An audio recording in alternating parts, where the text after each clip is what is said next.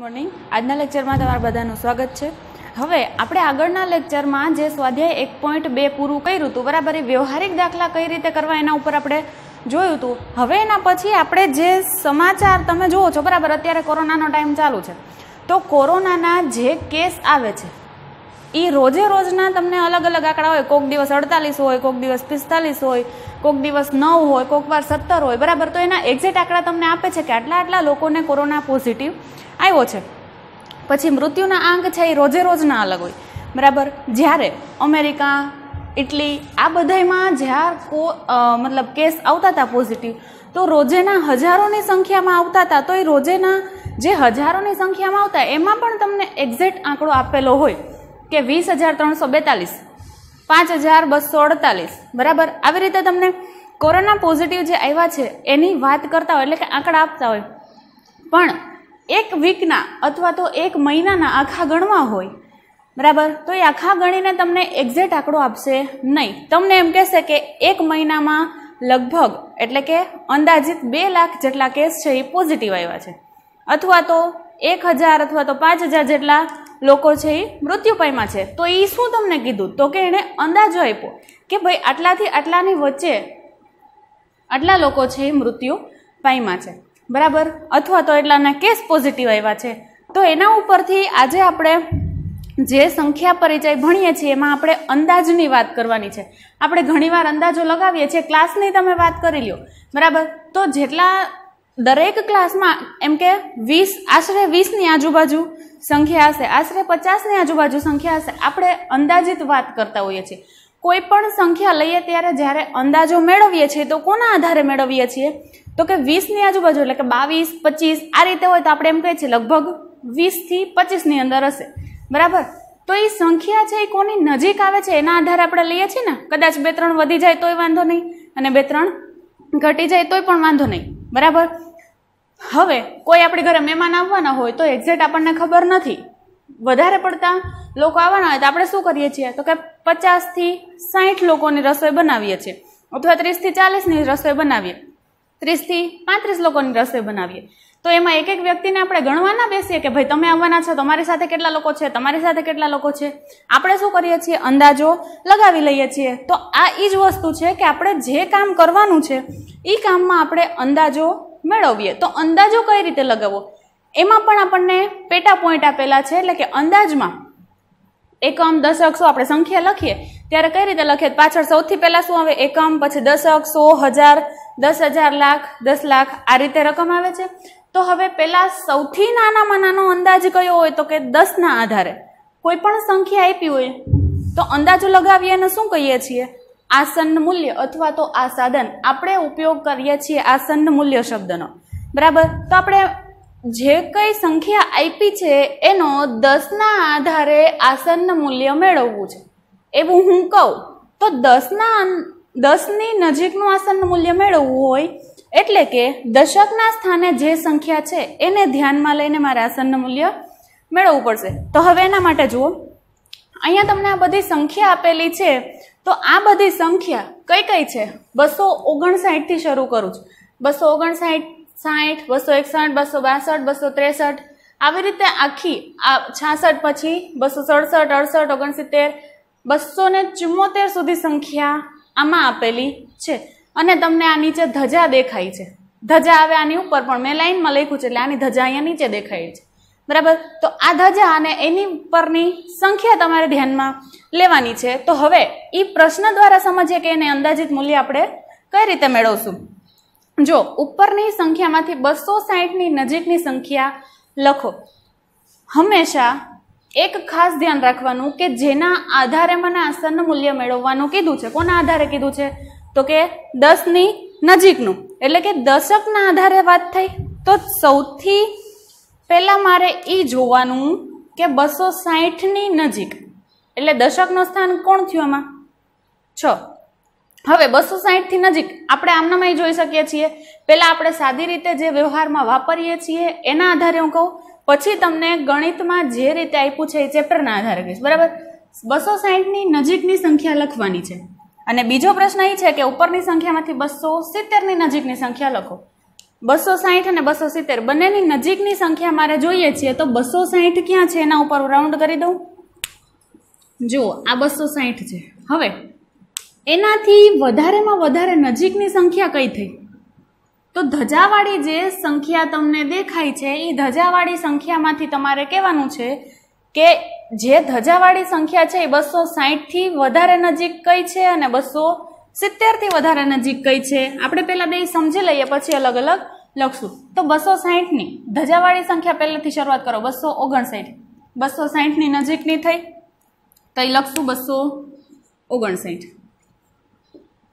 પછી બીજી ધજાવાળી સંખ્યા બસો એકસઠ. તો એ બસો સાહીઠની નજીકની થઈ, એટલે એમાં લેખા. પછી બસો ત્રેસઠ છે, ધજાવાળી ત્રીજી સંખ્યા. તો એ બસો સાહીઠની નજીક થશે કે બસો સિત્તેરની નજીક થશે? તો બસો સિત્તેર તમારે લાવવા હોય તો એમાં કેટલા અંક ખસવા પડે? એક, બે, ત્રણ, ચાર, પાંચ, છ ને સાતમા અંકે એ નજીક થાય. પણ બસો સાહીઠથી આ ત્રીજા અંકે નજીક થાય. તો વધારે નજીક કોની થાય તો કે બસો સાહીઠ એટલે ત્રીજી સંખ્યા કઈ આવે? બસો ત્રેસઠ. બરાબર? હવે બસો પાસઠ ચોથી સંખ્યા થઈ ને ધજાવાળી. તો એ બસો સાહીઠની નજીક છે કે બસો સિત્તેરની? હવે બસો સાહીઠથી તમે ગણો. એક, બે, ત્રણ, ચાર અને પાંચમી સંખ્યા. પછી બસો સિત્તેરમાં જોવું હોય નજીક છે કે નહીં તો શું કરવું પડે? પાછું ગણો. એક, જે સંખ્યા લઈએ છીએ એને ગણવાની નથી જ્યારે એની પછીની સંખ્યાની વાત કરતા હોય. તો એના પછીથી ગણવાનું. એક, બે, ત્રણ, ચાર અને પાંચ. તો જુઓ, બસો સાહીઠથી પણ પાંચ અંક દૂર છે અને બસો સિત્તેરથી પણ પાંચ અંક દૂર છે. એટલે એ બેની નજીક સરખું થાય તો મારે એને જેમાં લેવું હોય એમાં હું લઈ શકું. એટલે આપણે પહેલાં કોમાં શેમાં લેશું એને? બસો સાહીઠની અંદર. બરાબર?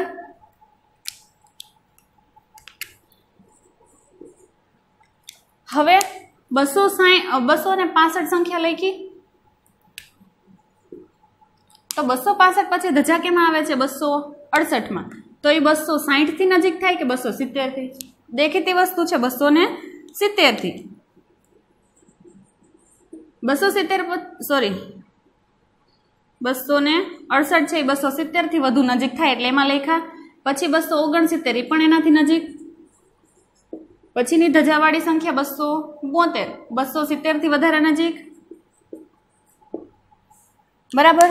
આ રીતે તમને ધજાવાળી જેટલી સંખ્યા દેખાય છે, એમાંથી કઈ કઈ સંખ્યા બસો સાહીઠથી નજીક છે અને કઈ કઈ સંખ્યા બસો સિત્તેરથી નજીક છે એ તમે આસાનીથી જોઈ શકો છો. હવે, બીજી વસ્તુ, જે તમારે આગળ પણ કામ લાગશે. હવે અહીંયા જુઓ, બસો ને સાહીઠની નજીકની સંખ્યાની વાત કરીએ છીએ. તો દશકના આધારે, એટલે કે દસના આધારે મારે વાત કરવી છે, તો એકમને દશકના આધારે વાત કરીશ. દશકના સ્થાને કોણ છે? છ. હવે જેના આધારે વાત કરતા હોય એની જમણી બાજુની સંખ્યા જોવાની. જમણી બાજુની સંખ્યામાં, જુઓ, છેલ્લો અંક હંમેશા, એટલે કે જેની, જેના આધારની વાત કરતા હોય, દશકના આધારે વાત કરતા હોય, તો દશકની બાજુની એક જ સંખ્યા જોવાની રહેશે. દશકની બાજુની સંખ્યા સંખ્યા હંમેશા ક્યાંથી શરૂ થશે? ઝીરો, એક ઝીરો એક બે ત્રણ ચાર પાંચ છ સાત આઠ અને નવ. એક જ અંક મારે જોવાનો છે. બરાબર? હવે હું શું કરીશ? આવું આપણે આગળ પણ થોડુંક શીખી ગયા છીએ. તો કે પાંચથી ઉપર જ્યારે સંખ્યા જાય છે, તો એમાં પ્લસ એક કરી દેવાનો. શેમાં?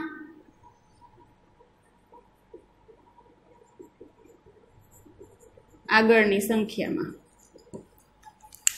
જો પાંચથી ઉપર એક જાય, એટલે આગળની સંખ્યામાં પ્લસ એક કરવાનો. આગળની સંખ્યા એટલે કઈ? તો કે જેના આધારે વાત કરીએ છીએ ઈ. અને જેના આધારે વાત કરતા હોય એના પછીની બધી સંખ્યા કેવી થઈ જશે? ઝીરો. અને આગળની સંખ્યા તો એમનેમ જ રહેશે. હવે જુઓ, અહીંયા બસો ઓગણસિત્તેર છે. સોરી બસો ઓગણસાઠ. તો હવે હું દશકના આધારે વાત કરતી હોય જો, દશકના આધારે મારે આનું આસનનું મૂલ્ય મેળવવું છે. તો આનું આસનનું મૂલ્ય મારે દશકના આધારે મેળવવું હોય તો એની પછીની સંખ્યા જોવાની છે. જેના આધારે વાત કરતા હોય એની પછીની સંખ્યા એટલે નવ છે. તો નવ પછી મારે ક્યાં જવાનું? તો કે આ લાઈનમાં નવ છે એ ક્યાં આવશે? પાંચથી ઉપર વહી જશે. તો પાંચથી ઉપર એ સંખ્યા જાય છે તો શું કરવાનું? પ્લસ એક કરવાનું. કેમાં તો કે એનાથી આગળની સંખ્યામાં. પ્લસ એક આમાં નથી કરવાનું. આ પાંચથી ઉપર છે, તો એની આગળની સંખ્યામાં પ્લસ એક કરવાનું. બરાબર? એટલે એ સંખ્યા કઈ થઈ જશે? બે આમ નમ રહી, પાંચની જગ્યાએ પ્લસ એક કરો એટલે છ. અને પછીની બધી સંખ્યા કેવી થઈ જશે? ઝીરો. એટલે કે બસો ઓગણસાઠ છે, એનું આસન મૂલ્ય કેવું થયું? કયું થયું? તો કે બસો સાઠ. આસન મૂલ્ય એટલે અંદાજિત સંખ્યા. આપણે વાત કરી ને કે કોરોના કેસની? મહિનાની કે એક અઠવાડિયાના કેસની વાત થતી હોય તો એ તમને પાછળ પચીસ હજાર એમ કહી દે. અથવા તો પાંચ હજાર એમ કહી દે. બરાબર? તો એ શું થયું તો કે એનું આસનનું મૂલ્ય આપણને એક્ઝેક્ટ અંક આપતા નથી. તો આ તમારે ખાસ ધ્યાન રાખવું પડશે અને અહીંયા લખી રાખવું હોય તો લખી રાખજો એટલે તમને વાંચવા ટાઈમે પણ યાદ આવશે. આમાં પ્લસ એક કરશું એટલે બે આમનામ છ અને આ જગ્યાએ શું આવશે? ઝીરો બરાબર? આ શું થયું? દસના આધારે આસનનું મૂલ્ય. આના એક્ઝામ્પલ હું આગળ દેખાડું છું. બરાબર? પછી આનું આસનનું મૂલ્ય જોતું હોય તો બસો પાસઠની વાત કરીએ છીએ. એનું પણ મારે દસના આધારે જોઈએ છે. એટલે કે છ ઉપરથી જોવાનું છે. દશકની સ્થાને છ છે. તો છમાં હું શું કરીશ તો એવો ફેરફાર થશે? અથવા તો નીચેની સંખ્યા લઈ લ્યો એટલે તમને સરળ રહે. બસો પાસઠ. ચાલો, આ રે પહેલી સંખ્યા લઈએ. બસો અડસઠ. તો બસો અડસઠના દસના આધારે આસનનું મૂલ્ય જોઈએ છે, તો દશકના સ્થાને જે સંખ્યા છે, એને પહેલાં મારે ધ્યાનમાં લેવી પડશે, કારણ કે મારે દશકના સ્થાનની વાત કરું છું. દશકના આધારે લેવું છે. તો આ સંખ્યા જે છે એમાં હું શું કરીશ? તો એમાં ફેરફાર કરવા માટે મારે પહેલાં એની પછીનો અંક જોવો પડે. જેના આધારે વાત કરતા હોય, એની પછીનો અંક કેટલો છે? આઠ. તો આ લાઈનમાંથી જુઓ. પાંચ કરતાં આઠ છે, એ વધારે થાય. તો એ વધારે થાય, તો શું કરવું પડે? પ્લસ એક કરવા પડે. પણ શેમાં? તો કે આગળની સંખ્યામાં. આ અંકની વાત કરતા હતા પાંચથી વધારે છે, તો એની આગળની સંખ્યામાં પ્લસ એક. એટલે કે છમાં પ્લસ એક થશે. હવે છમાં જે પ્લસ એક થયો એટલે અહીંયા થઈ ગયા સાત. અને જે છેલ્લી સંખ્યા છે એની જગ્યાએ શું થઈ જશે? ઝીરો. બરાબર? અને આગળની સંખ્યા એમને એમ. એટલે કે બે છની જગ્યાએ પ્લસ એક કરો એટલે સાત. અને પાછળ જેના આધારે વાત કરતા હોય એની પછીની બધી સંખ્યા હંમેશા ઝીરો. એટલે આ શું થયું? બસો સિત્તેર છે, એ બસો અડસઠનું આસન મૂલ્ય કોના આધારે? દશકના આધારે. બરાબર? હવે એ જ વસ્તુ મારે જો બસો ને બોતેરમાં જોવી હોય. તો બસો બોતેરમાં દશકના આધારે મારે આસનનું મૂલ્ય જોઈએ તો દશકના સ્થાને કોણ છે? સાત. દશકના સ્થાને સાત છે તો સાતમાં ફેરફાર કરવો પડશે? તો એના માટે મારે એની પછીનો અંક જોવો પડે એટલે બે છે. તો બે છે એ પાંચ કરતાં? પહેલાં આવે છે. એટલે એમાં પ્લસ એક કરવો પડશે. નહીં. બરાબર? તો બે ને આમનામ લખું? બે. પછી સાતમાં કોઈ ફેરફાર થતો નથી. એટલે સાત આમનામ. એની પછીના અંક છે એ બધા ઝીરો. આ શું થયું? દશકના આધારે આસન મૂલ્ય. બરાબર? આ સમજાઈ ગયું હશે? હવે આના પછી હું એક્ઝામ્પલથી તમને સમજાવીશ કે એનું આસન મૂલ્ય કઈ રીતે લેશું. તો હવે જુઓ. અહીંયા પણ એવું કીધું છે કે આસન મૂલ્ય એટલે આસાદનના દ્વારા નજીકના સોનો અંદાજ મેળવવાનો છે. સોની વાત કરીએ એટલે એકમ, દશક અને સોના સ્થાને કઈ સંખ્યા છે? એના ઉપરથી જોવું પડશે. તો પહેલી સંખ્યામાં સોના સ્થાને કોણ છે? આઠ. હંમેશા જેના આધારે વાત કરવી હોય, એની પછીનો અંક કયો છે? જો એ પાંચથી વધારે હોય, તો જેના આધારે વાત કરતા હોય, એમાં પ્લસ એક કરવો પડશે અને એની પછીના બધા સંખ્યા છે એ ઝીરો થઈ જાય. અને જો આઠના આધારે વાત કરીએ છીએ, એની પછીની સંખ્યા પાંચ કરતાં નાની, એટલે કે પાંચ કરતાં ઉપર, તમારે આ જ લાઈન યાદ રાખવાની. પાંચ કરતાં ઉપર જાય છે, તો એમાં કોઈ ફેરફાર થશે નહીં. શેમાં જેના આધારે વાત કરીએ છીએ એમાં. બરાબર? તો આ ચાર છે એ શું થઈ જશે? ઝીરો થઈ જશે અને બે પણ ઝીરો. કઈ રીતે? તો કે જેના આધારે વાત કરીએ છીએ, એની પછીની સંખ્યા એટલે ચાર. ચાર છે એ પાંચ કરતાં નાની છે, તો આમાં કોઈ ફેરફાર થશે નહીં અને એની પછીની બધી સંખ્યા ઝીરો. એટલે એનું આસન્ન મૂલ્ય કેટલું મળ્યું? આઠ. જેમાં ફેરફાર નથી થયો. પછીની બધી સંખ્યા ઝીરો. એટલે કે આઠસો બેતાલીસનું આસન્ન મૂલ્ય કેટલું થયું? આઠસો. અને સોના આધારે બીજી ટ્રીક સેલી સોના આધારે તમે વાત કરો છો તો આઠની વાત કરો છો? એટલે પાછળ બે સંખ્યા તમારે પહેલાં ઝીરો મૂકી દેવાની. આ સંખ્યા આપણે જોવાની નથી. સોના આધારે કઈ સંખ્યા છે તો કે આઠ. એની વાત કરો તો આઠ અને નવ. બરાબર? આઠસો અને નવસો. આ બેની સંખ્યા આને બેની જગ્યાએ ઝીરો મૂકી દઉં તો આઠની આઠસોની ઉપરની સંખ્યા છે અને નવસોથી વચ્ચે પહેલાંની સંખ્યા છે, તો આઠસો અને નવસો વચ્ચે આ સંખ્યા એવી. તમારે ખાલી જોઈ લેવાનું કે સોના આધારે જે સંખ્યા છે, ઈ અને એની પછીથી મોટી સંખ્યા. ઈ બેની વચ્ચે આ સંખ્યા ક્યાં આવે છે? બરાબર? તમે થોડીક પ્રેક્ટિસ કરશો એટલે તમને સમજાઈ જશે. અત્યારે કદાચ તમને ડિફિકલ્ટ થોડુંક લાગશે. બરાબર? તો આઠસો બેતાલીસ છે એ આઠસો ને નવસોની વચ્ચે આવે છે. તો હવે આઠસો બેતાલીસ છે એ વધારે આઠસોની નજીક થાય કે વધારે નવસોની નજીક થશે? જો અહીંયા સંખ્યા દ્વારા દેખા, સંખ્યા રેખા દોરીને દેખાડું છું. જુઓ, અહીંયા કેટલા છે? આઠસો. અહીંયા છે નવસો. અને આઠસો બેતાલીસ છે, એ ક્યાંક વચ્ચે અહીંયા આવશે, પણ આ એક્ઝેક્ટ વચ્ચે એટલે આઠસો પચાસનું થાય. એક્ઝેક્ટ વચ્ચે કેટલા આવશે? આઠસો પચાસ. પણ આઠસો બેતાલીસ છે, એનાથી થોડાક દૂર જશે. એટલે આઠસો બેતાલીસ. જુઓ, અડધાથી ડાબી બાજુ આવ્યા કે અડધાથી જમણી બાજુ? તો કે અડધાથી ડાબી બાજુ, એટલે વધારે નજીક કોનું થયું? આઠસોથી છે. તો એનું આસનનું મૂલ્ય કેટલું થશે? આઠસો. બરાબર? હવે જો બીજી સંખ્યા, છસો ને ચોવીસ. તો છસો ચોવીસ છે એ સોના આધારે વાત કરું છું, તો કોની કોની વચ્ચે આવે? તો કે છસો અને સાતસોની વચ્ચે તો છસો અને સાતસોની વચ્ચે હોય,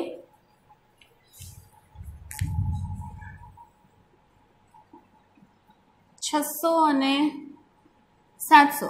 બરાબર વચ્ચે કોણ આવશે? તો કે છસો પચાસ. મારે સંખ્યા કઈ જોઈએ છે? છસો ને ચોવીસ. તો એ અહીંયા આવશે.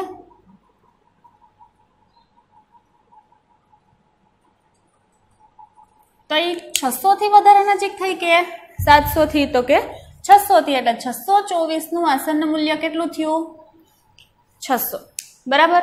હવે આપણે જે અહીંયા સમજાય એના આધારે વાત કરીએ, તો સોના આધારે મારે આસનનું મૂલ્ય જોઈએ છે. તો સોના સ્થાને કોણ છે? છ. એની પછીની સંખ્યા કઈ છે? બે. બે છે. એ પાંચથી ઉપર જાય છે કે નીચે? તો કે ઉપર આવે છે, એટલે જેની વાત કરીએ છીએ જેના આધારે વાત કરીએ છીએ, એમાં એક પણ સંખ્યાનો ઉમેરો થશે નહીં, એટલે છ આમનામ. પછીને બધી સંખ્યા ઝીરો બરાબર?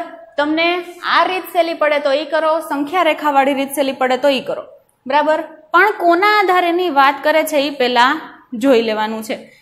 તમે આ રીત કરશો, થોડાક ટાઈમ માટે તમારે થોડાક રકમની પ્રેક્ટિસ કરશો, ત્યાં સુધી સંખ્યા રેખા દોરીને સમજશો એટલે જાતે જ આઈડિયા આવી જશે કે કોની નજીક થાય.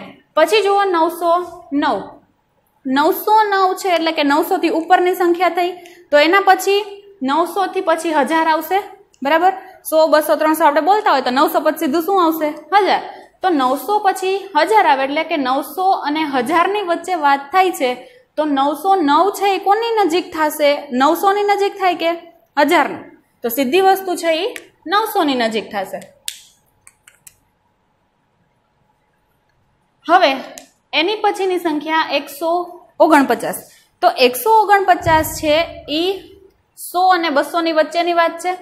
તો અહીંયા સો, એના પછી બસો એટલે સો અને બસોમાંથી એકસો ઓગણપચાસ છે વધારે કોની નજીક થાય? તો કે સોની. એ જ રીતે હવે એકસો અડસઠ. તો એ આ બેને છુપાડી દો એટલે એકની બાજુમાં બે ઝીરો મૂકી દેવા પડશે. કારણ કે પાછળ જેના આધારે વાત કરીએ છીએ, એની પછીની સંખ્યા ધ્યાનમાં લેવાની નથી. એટલે કે સો અને બસોની વચ્ચે એકસો અડસઠ છે. તો એ એકસો અડસઠ છે, એ સોની નજીક થશે કે બસોની નજીક? એટલે કે અડસઠ છે, પચાસથી વધી ગયા એટલે બસોની નજીક થશે. અને બીજી રીતે આપણે હમણાંમાં કર્યું, એ રીતે જુઓ, તો સોના આધારે વાત કરીએ છીએ, તો એની પછીની સંખ્યા છ છે. પાંચ કરતાં ઉપર ગઈ, પ્લસ એક કરવાનો ક્યાં? આગળની સંખ્યામાં. જેની વાત કરીએ છીએ આગળની સંખ્યામાં, એક પ્લસ કરો એટલે એક પ્લસ એક એટલે બે થઈ ગયા અને પાછળ બે હોઈને શું મૂકી દેવાનું? ઝીરો. બરાબર? પછી ચાર હજાર નવસો છપ્પન. ચાર અંકની સંખ્યા આપી છે, પણ વાત કોના આધારે કરે છે? સોના આધારે. સોની નજીકની સંખ્યા મારે જોઈએ છે, એટલે કે સોના અંદાજિત સંખ્યા જોઈએ તો ચાર હજાર નવસો છપ્પન એમાંથી એકમ, દશક અને સોના આધારે એટલે કે નવના આધારે વાત કરીએ છીએ. તો એટલે આ આગળની સંખ્યા છે એમને એમ રે? એટલે કે આ બેની જગ્યાએ શું મૂકી દઈશ? ઝીરો. તો ચાર હજાર નવસો. એની પછી શું આવશે? ઓગણપચાસસો પછી પચાસસો એટલે કે પાંચ હજાર. તો ચાર હજાર નવસો અને પાંચ હજાર બેમાંથી છપ્પન છે એ કોની નજીક થશે? જુઓ.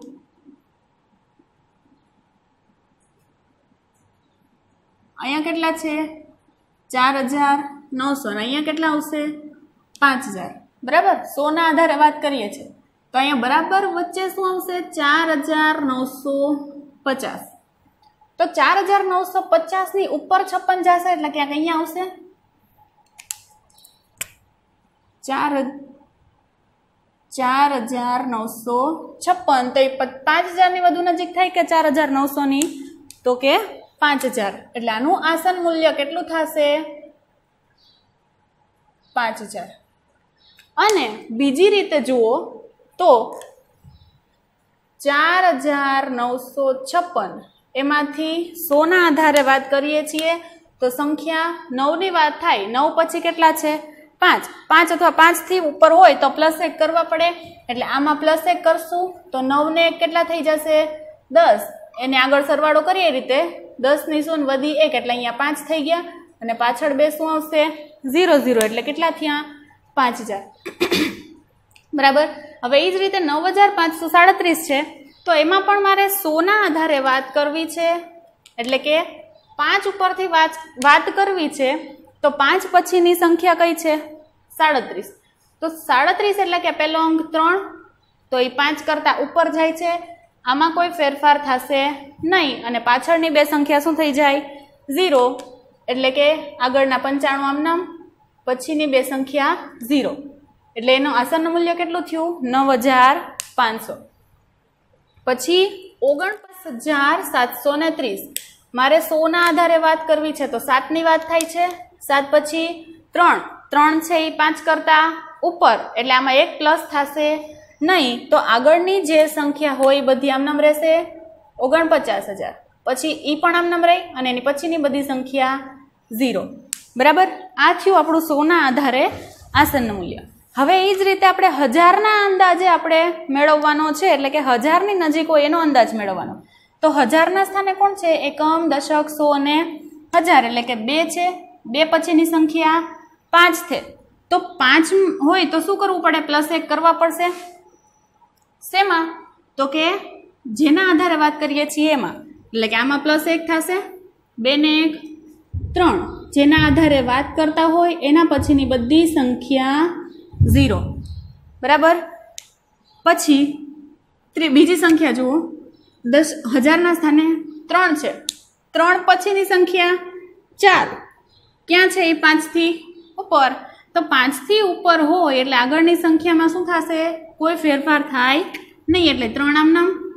જેની લાઈન, જેના નીચે લાઈન હોય ને એની પછીની સંખ્યા બધી એમને બરાબર?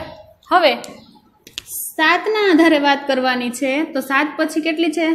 આઠ. આઠ છે એ પાંચથી વધારે, તો આગળની સંખ્યામાં પ્લસ એક. તો સાતને એક, આઠ. પછીની બધી સંખ્યા ઝીરો. બરાબર? હવે એના પછી જુઓ. બે, પાંચ, સાત ને ત્રણ. કોના આધારે વાત કરશું? બેના આધારે. તો બે પછી કેટલા છે? પાંચ. આગળની સંખ્યામાં પ્લસ એક, બે ને એક, ત્રણ. પાછળની બધી સંખ્યા ઝીરો એટલે આસનનું મૂલ્ય કેટલું થયું? ત્રણ હજાર. પછી એકમ, દશક, સો ને હજાર, એટલે કે ત્રણના આધારે વાત કરવાની છે. ત્રણ પછી પાંચ. પાંચ છે એટલે આગળનામાં પ્લસ એક. તો અહીંયા ચાર થઈ જાય, પણ એની આગળની સંખ્યા છે એ એમને એમ રહેશે. અને આ ત્રણની જગ્યાએ શું થઈ જાય? ઝીરો, એટલે આનું આસનનું મૂલ્ય કેટલું થયું? ચોપન હજાર. પછી પાસઠ હજાર ચારસો ને સાડત્રીસની વાત છે, તો હજારના આધાર હજારની જગ્યાએ કોણ છે? પાંચ. એની આગળની તો સંખ્યા એમને જ રહેવાની છે. હવે પાંચ પછી ચાર છે, તો ચાર છે એ પાંચ કરતાં નાના છે, તો આમાં કોઈ ફેરફાર થશે નહીં, એટલે પાસઠ પાસઠ આમનામ. પછીની ત્રણ સંખ્યા છે, એની જગ્યાએ ઝીરો એટલે પાસઠ હજાર ચારસો સાડત્રીસ છે. એનું આસનનું મૂલ્ય કેટલું થયું? પાસઠ હજાર. હવે આપણે જેના આધારે આસન મૂલ્યની વાત કરી, એના ઉપરથી મારે સરવાળા અને તફાવતનો અંદાજ જોઈએ છે. તફાવત એટલે શું તો કે બાદબાકી, સરવાળા બાદબાકી આપણે કરીએ છીએ. તો એમાં આપણે અંદાજ છે એને કઈ રીતે લઈ શકીએ? તો જુઓ, પહેલી સંખ્યા, દરેક સંખ્યામાં સરવાળા કે બાદબાકીમાં બે અથવા ત્રણ સંખ્યા આપી હશે. તો જેટલી પણ સંખ્યા મને દેખાય, પહેલાં મારે શું કરવાનો? એનો અંદાજ મેળવી લેવાનો, જે આપણે આના આધારે કર્યું હતું. બરાબર? હવે આ સંખ્યાનો અંદાજ મારે કઈ રીતે મેળવવો? જો, સત્તર હજાર નવસો છ્યાસી એટલે કે એકમ દશક સો હજાર અને દસ હજારના આધારે મેળવવો પડે અને એકમ દશક સો ને હજાર. આમાં હજારના આધારે મેળવવો. જ્યારે સરવાળા બાદબાકી કરવાનું આવે, ત્યારે બેમાં એક જ સરખા એક જ સરખી સંખ્યાના સ્થાન પરના આધારે આપણે અંદાજ મેળવવો પડે. એટલે કે અહીંયા હજારના આધારે મેળવવો પડશે, અહીંયા દસ હજારના આધારે તો એમ ચાલશે નહીં. બેમાં કાં તો દસ હજારના આધારે આવે ને કાં તો હજારના આધારે. તો બેમાં કોના આધારે સરખું લઈ શકાય? હજારના આધારે. એટલે અહીંયા સાતના આધારે આવશે અને અહીંયા પાંચના આધારે. બરાબર? તો આ પહેલી સંખ્યા જે છે, સત્તર હજાર નવસો છ્યાસી. અને બીજી સંખ્યા પાંચ હજાર બસો નેવું. બંનેનો અંદાજ મેળવો. પહેલી સંખ્યા છે એનું હજારના આધારે, આનું પણ હજારના આધારે. હજારના આધારે વાત કરું, એની પછીની સંખ્યા નવ. પાંચ કરતાં વધારે, એટલે આ સંખ્યામાં પ્લસ એક.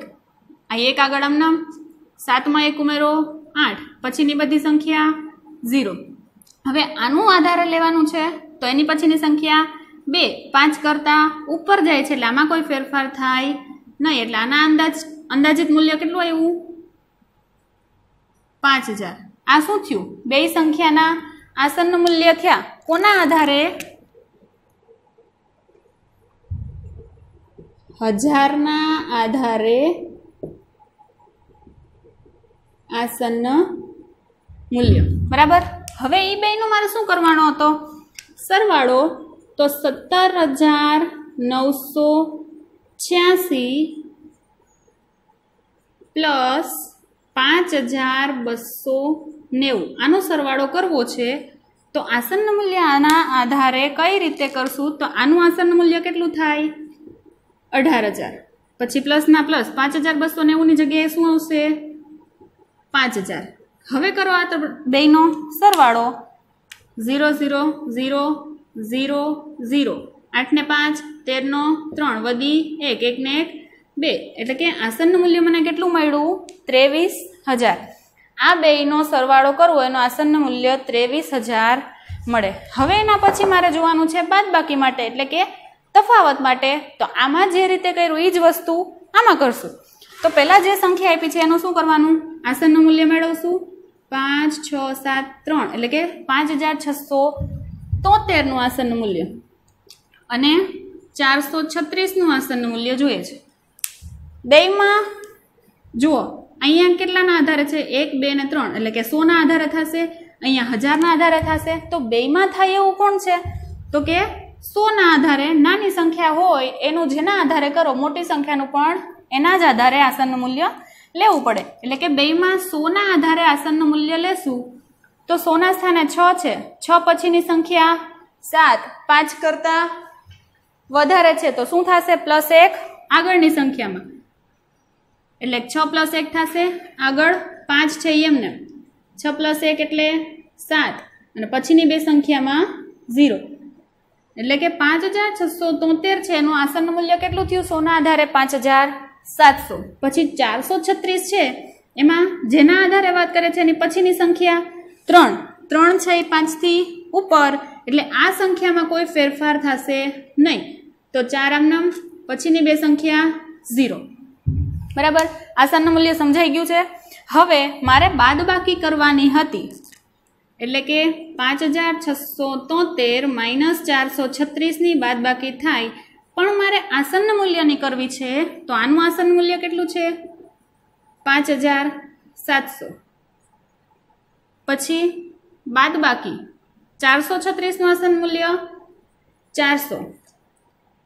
કરો બાદ બાકી. ઝીરો ઝીરો, સાતમાંથી ચાર જાય તો ત્રણ અને પાંચના પાંચ. એટલે મને આસન મૂલ્ય કેટલું મળ્યું? પાંચ હજાર ત્રણસો. બરાબર? આજ માટે આટલું. હવે આની પછી મારે એક અંદાજિત ગુણાકારની વાત કરવાની છે. એ અંદાજિત ગુણાકાર પણ આ જ રીતે છે. તમે ટ્રાય કરજો તમારી જાતે થાય છે કે નહીં. બરાબર? ગુણાકારની જે વાત છે એની પછીના લેક્ચરમાં આપણે જોશું અને ત્યારે જ આની પછીનું સ્વાધ્યાય પણ ચાલુ કરી દઈશું બરાબર? સહેલું જ છે. ખાલી આ એક જ વસ્તુ યાદ રાખવાની છે. અને એ શેના આધારે લઈએ છીએ? તો કે જેના આધારે મારે આસનનું મૂલ્ય મેળવવું છે, એની પછીની સંખ્યાથી આ જોવાનું રહેશે. અને સુધારો વધારો પણ કેમાં થશે? જે સંખ્યાના આધારે વાત કરીએ છીએ એ સંખ્યામાં. બરાબર? હવે આવતું, આવતા લેક્ચરમાં આપણે આનો અંદાજિત ગુણાકાર છે એ પણ જોશું.